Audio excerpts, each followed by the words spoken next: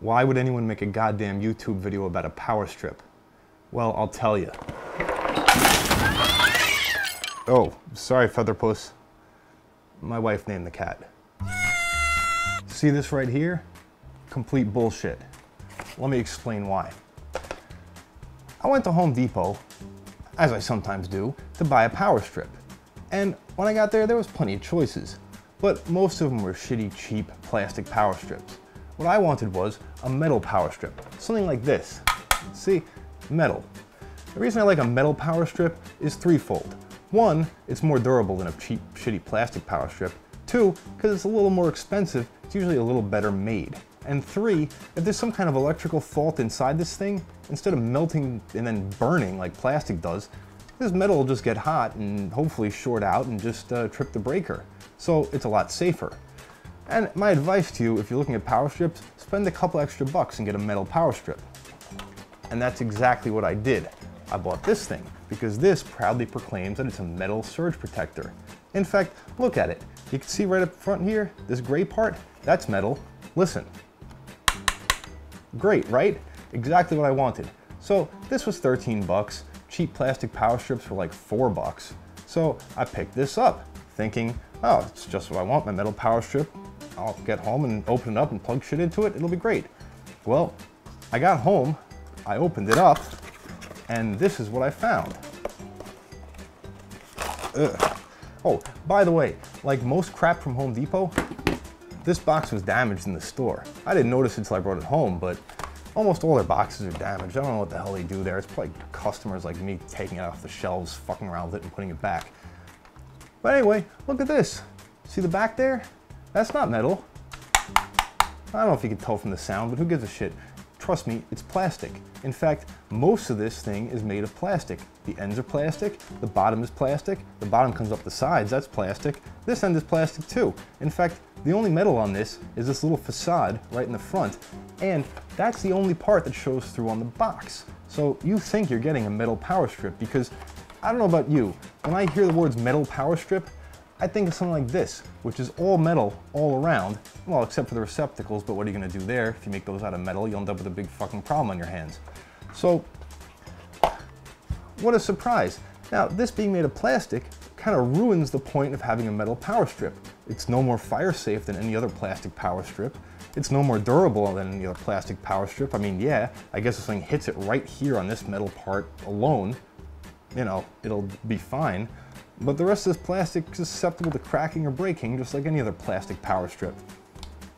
So, that's pure bullshit.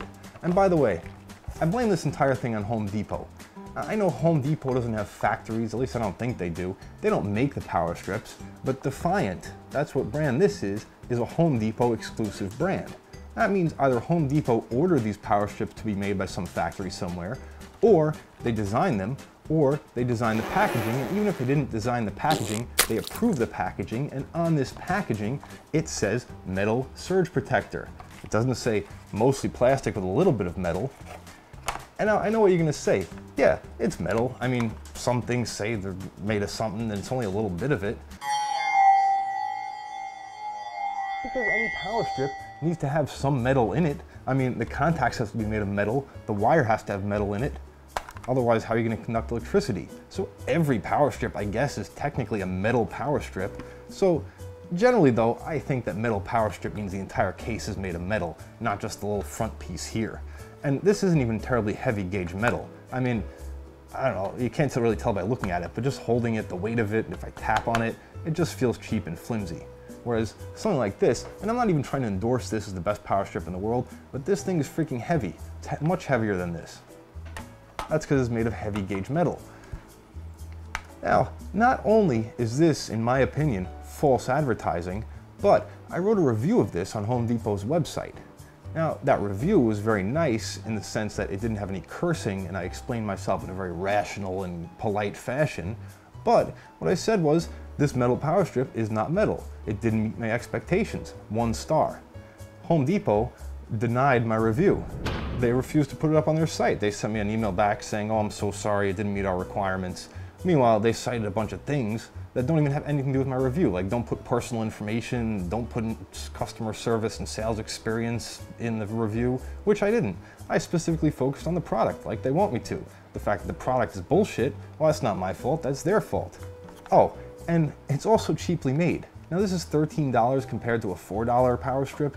Granted, it does have surge protection, which I guess commands a premium, even though making surge protection circuits are so fucking cheap nowadays that, you know, anyone can do it. When I first brought this home, I decided to take it apart and see what's inside of it. See like if maybe there's metal under this plastic. I took off one screw and then I said, you know what, I'm just gonna return it. I don't wanna ruin it, so I'm not gonna take it apart completely. So I went to put that screw back in.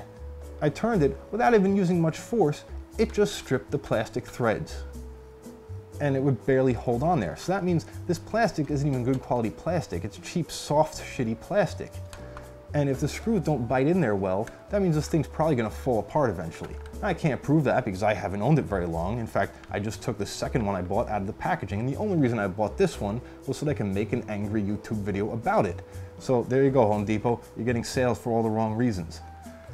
Now, just for fun, let's take this apart and see what kind of crap is inside. I bet it's no better than any other plastic, shitty, cheap power strip.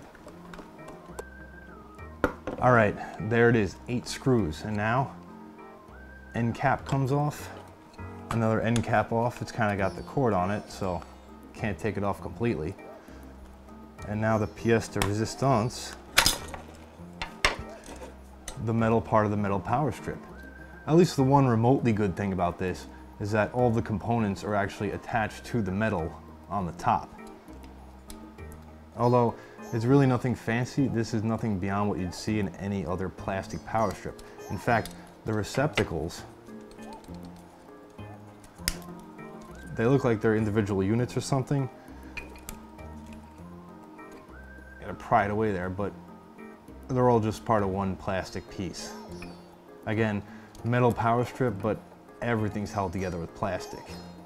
So build quality is not impressive in the least. I mean, you can see just me taking it apart, it's just kind of flailing around in there. And obviously the plastic back helps hold all this stuff in place. But I mean, not a horrible design, but again, not really anything above quality-wise what you'd find in any other plastic power strip. So again, it's got this little front piece of metal and you can see not even really that thick of a metal. I mean, it's not as flimsy as I first expected, but it's nothing to write home about. So if you're in the market for a metal power strip, don't buy this one. In fact, don't buy any power strips at Home Depot because Home Depot apparently does not sell a metal power strip. This is the only one they sell that says metal on it. The rest of them are quite obviously plastic. So you're either stuck with this or nothing at all if you want metal. And I would rather go with nothing at all. Or just go with a plastic power strip and save yourself the money. So that's why this is complete bullshit. There's absolutely no point to this piece of crap. This is the part of the YouTube video where people usually say subscribe to my channel, like this video, share it with your friends.